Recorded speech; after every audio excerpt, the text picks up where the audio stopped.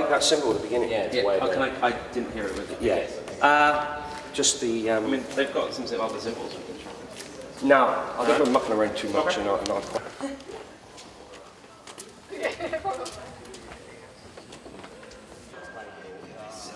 My background with brass bands started uh, many, many years ago. In fact, I was eight years of age when I think my dad gave me my first cornet. Uh, it was in the Salvation Army, and uh, I joined uh, the junior band playing the cornet, which I loved, and I've been a cornet player ever since. And I think um, with my dad as a cornet player, we used to play duets, and uh, that went on for some time until uh, I, I joined the senior band when I was 14 years of age. And whereabouts was that? This was in Plymouth, in Devon, in the UK, and uh, the Salvation Army, Plymouth Exeter Hall, and um, it was a thriving uh, little community then with um, a, a great brass band and, and a songster brigade, and um, uh, very influential on my music career.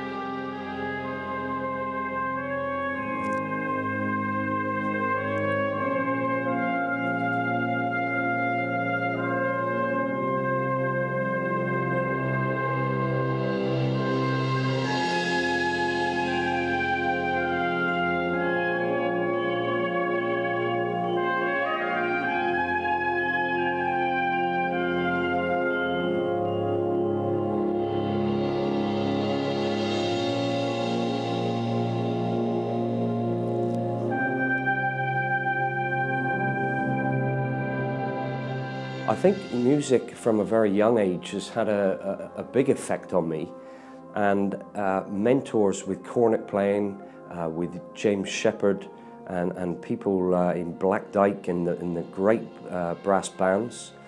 Uh, I never thought I would take up conducting until I was given an opportunity, uh, I think when I was about 13 or 14. And I, um, I- just thought it was something very special. I guess uh, I've had I've been very fortunate to learn all- under a lot of great conductors in England, and the the top uh, mentors.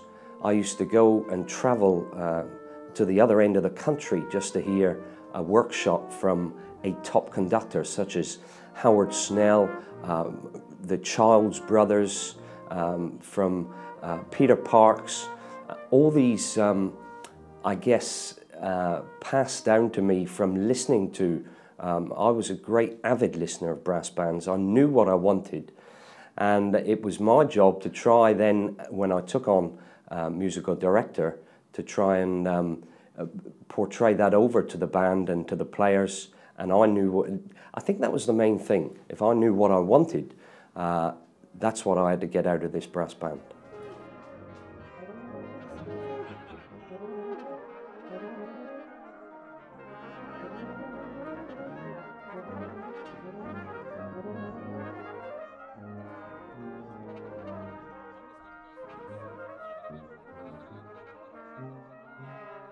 I was in Cornwall conducting the Bodmin Town Band.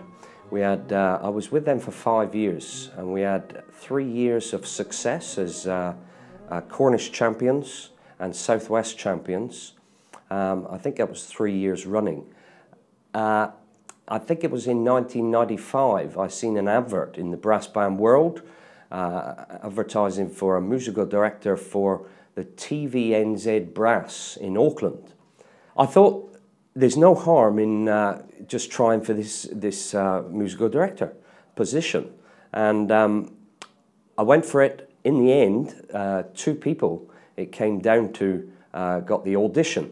It was in fact myself and um, a player from the Grimethorpe Colliery Band.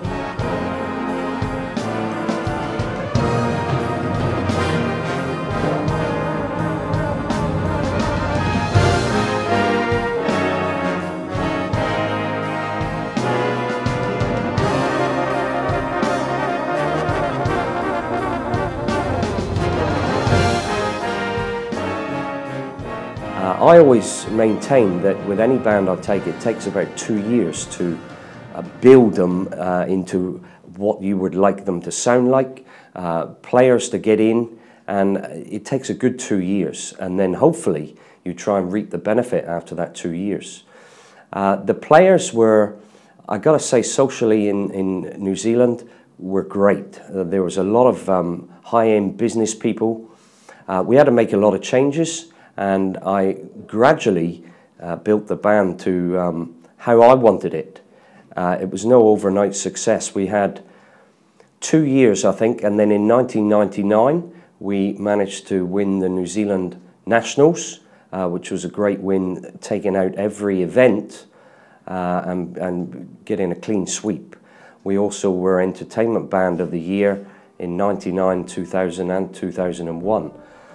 Uh, it was a great five years for me in New Zealand.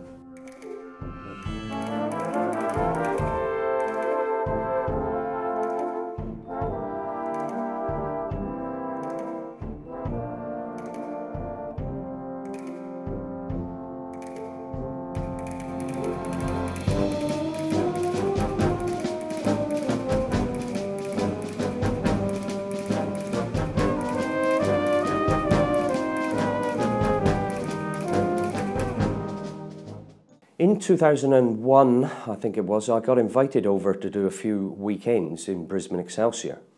And I've got to say, these weekends were very enjoyable, uh, a full band, all very keen, and we ended up doing some good concerts in the QPAC, and uh, I really enjoyed myself. I saw a challenge here um, that in the end I, I couldn't turn down. The offer was good, and after five years in New Zealand, even though I did enjoy it, uh, Brisbane was beckoning, and boy, I'm glad I made the move.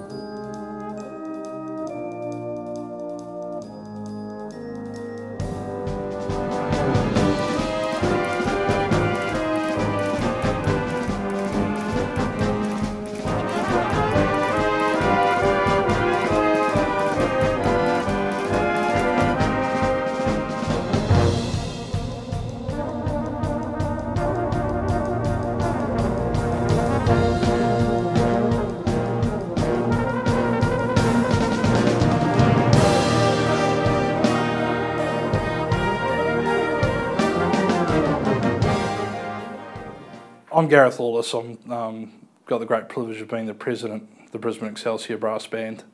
Um, the band has, has been around for 103 years now, uh, first started in 1912.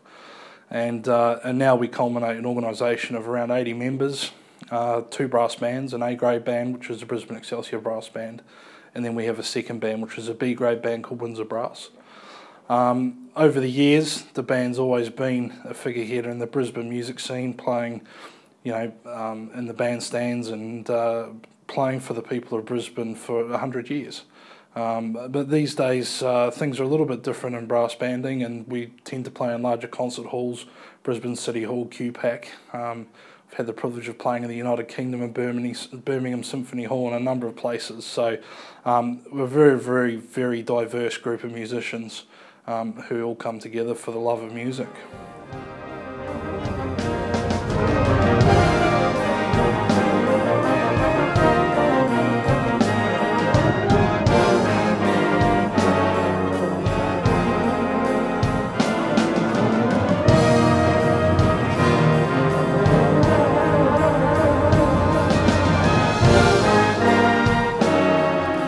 Um, under Howard Taylor, uh, the band uh, before my time uh, procured uh, Howard from, at the time, from Waitakere Auckland Brass over in New Zealand. And uh, he came in 2002 to Brisbane Excelsior organisation and set about instigating his plan for success. And over the years, it's uh, it's going to be quite poignant in the history of brass banding and the annals of Australian brass banding, um, having now won uh, eight national championships and two New Zealand championships, uh, having played at the British Open, Cambridge Masters, performed in Hong Kong, performed in China. Um, and it's quite an impressive resume for the band in the last uh, 12, 13 years since Howard's been around. I suppose they didn't take it maybe as seriously as I, I would like. Uh, there were a lot of changes that I had to make when I came in. Uh, a lot of players were not up to the standard, and I did make it very clear when I took over that probably the band sat in front of me was not going to be the band that wins its first contest nationally. I um, changed things in the fact that I started a second band. And although it uh, didn't go down very well, first of all, with me inviting players of the number one band to join the second, gradually uh, it started from four players, went to six and eight, and then gradually I started up a second band called Windsor Brass, who are now uh, good in their own right as a B grade band. But that started up a feeder band, and then I got in the better players for Brisbane Excelsior.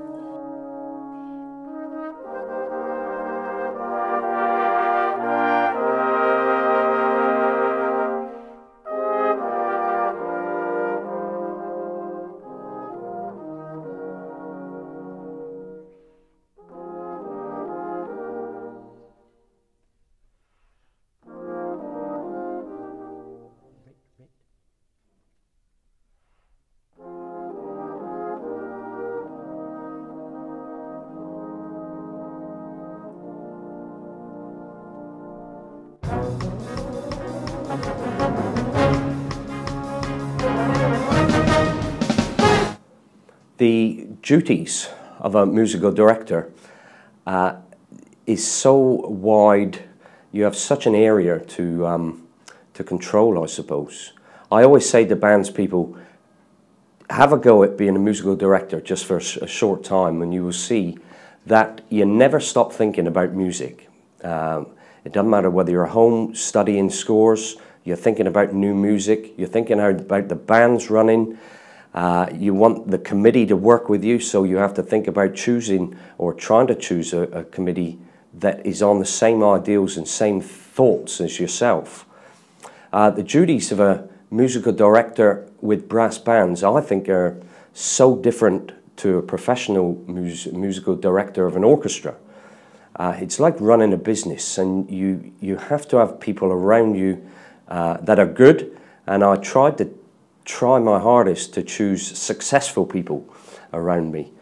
Uh, having a president that you can work with and a secretary is, is a must. Uh, and, and they've got to have the same um, ideas and uh, same thoughts as you of where the band's going to go in the future. And if you've got that, it's half the battle. I guess um, when you're talking musically in front of 28, 30 people of all different standards, uh, I say to people that um, music is not always the be all and end all. You have to know music, but you have to know 26 personalities as well.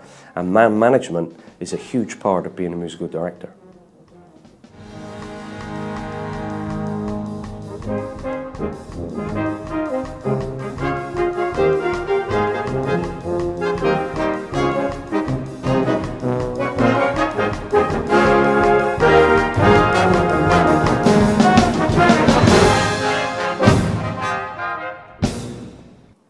2007 and 2008 were, I think, our busiest years with concerts and contests.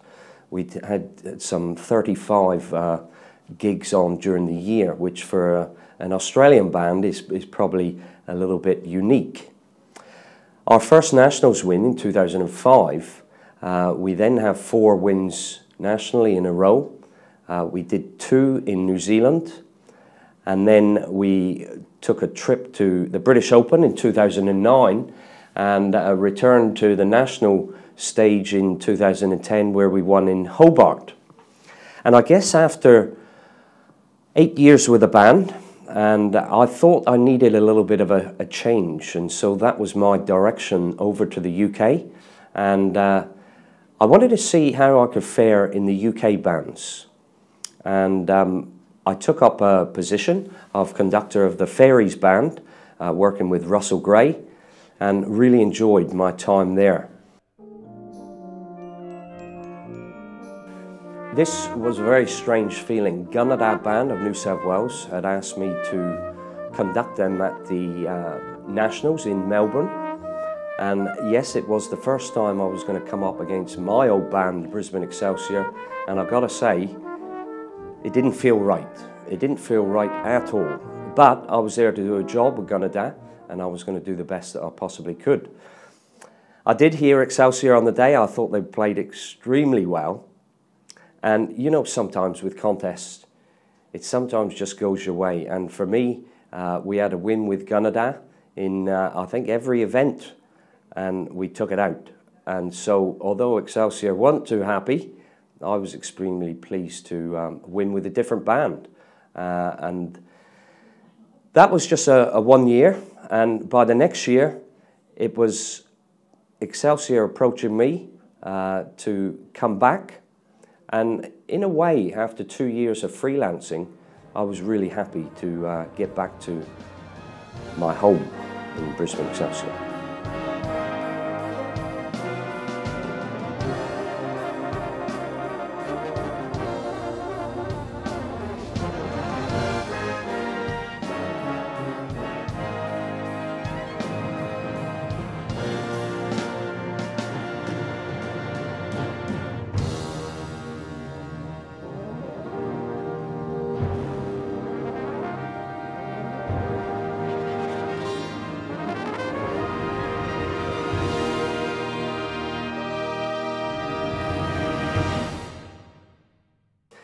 Wanted to put down something to celebrate really the 10 years since our first Nationals win in 2005.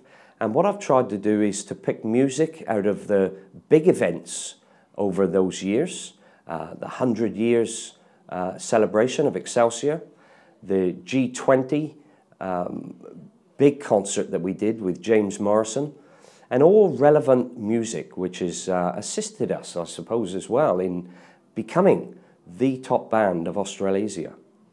There's also, we've put on a winning performance of uh, our Perth Nationals win. And the music, I think, is going to be a great, uh, a great combination, uh, a great diversity, and for uh, our public, general public, is going to really enjoy, I feel. Yeah, I think um, often that there's, uh, there's definitely a perception from the public of a brass band being a whole lot of uh, senior citizens playing brass instruments in the bandstands of, uh, of Centennial Parks and Botanic Gardens. But however, for Brisbane Excelsior, it's quite different to that. A number of the members uh, arguably would be good enough to play in local orchestras or professional uh, music groups. However, instead of being professional musicians, they're quite simply plumbers and builders, and teachers. Um, we have members from all walks of life. Um, and in their spare time, as a hobby, they just happen to be incredibly talented musicians. Um, so for the band as a whole, there's a lot of things that we look at when we plan a year. They can be attending contests in different centres in Australia. They can be looking at doing uh, smaller gigs uh, for the Metropolitan and Brisbane City Council and the city's parks. It can be our own concert series that we put on in the concert halls around southeast Queensland. Or in this case, it can be a simple matter of uh, recording two CDs in the space of the last six months. Uh, commercially, it's important for the band as being the leading exponent of our genre in Australia to be putting out high quality, first rate uh, CDs and recordings to give our listening public an opportunity to purchase and to take the band's sound home. And uh, the first CD we recorded this year was in conjunction with Legacy Foundation, who are the uh, preferred foundation for the RSLs. We've recorded a CD full of Anzac music. Um, this music really is documenting what kept morale up during World War II, and it's really aimed at the older citizens and also for the younger citizens to understand the sound of the times back in those days. Uh, we've also done some practicalities of it as well to increase the marketability of the CD by recording the last post in the Reveille uh, at the end of the CD, so that way it's appealing to schools or other companies who may want a recording of the last post if they can't find a bugler at the time. So there are little things that we always look at as a band management to how we can be a little bit more marketable, not just to our listening public, but actually have some form of tangible purpose behind it.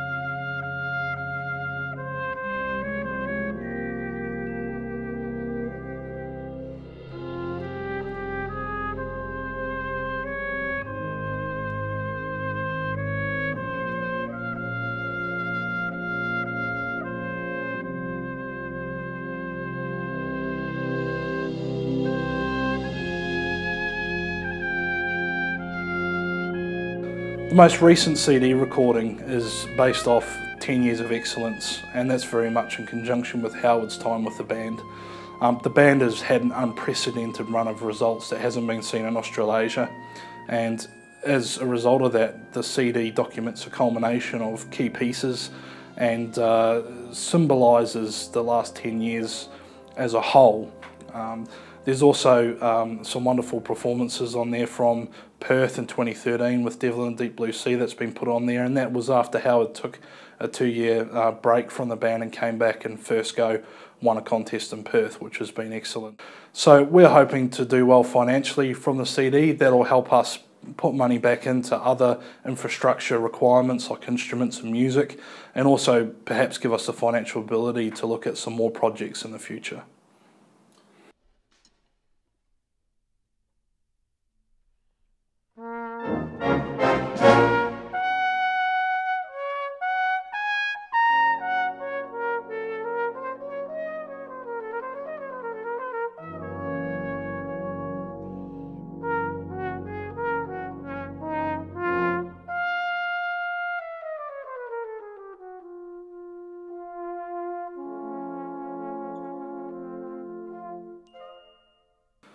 Future with Brisbane Excelsior Band needs to really come back to its name. Excelsior means onwards and upwards, and that's very much what has to happen. There's been a really distinct focus on achieving contest success in the last 10 years, and I think the CD nicely perhaps puts an underline and a full stop after that. Um, it's really important for us to be two, three steps ahead of the members themselves and the band and that we ensure that we've got exciting things for them to be doing with their time. So next year we've got four-part concert series. We're going to be performing with Cambrian Choir out in Ipswich. We're also performing in QPAC with, uh, with an international show that's coming to town to open Brisbane Festival. In the year's future, we're looking 2017 possibly to pop over to New Zealand and compete in the contest there. It'll be the first time the band will have gone back in 10 years, and that'll mark 10 years since we last won the New Zealand contest. So we've always got one eye forward, um, but it's really important that as a team, the committee, Howard, musical director, um, and even the second band Windsor, that we're all operating within the values of the organisation. We're always keeping an eye on the future and we're always trying to be relevant and current to the membership.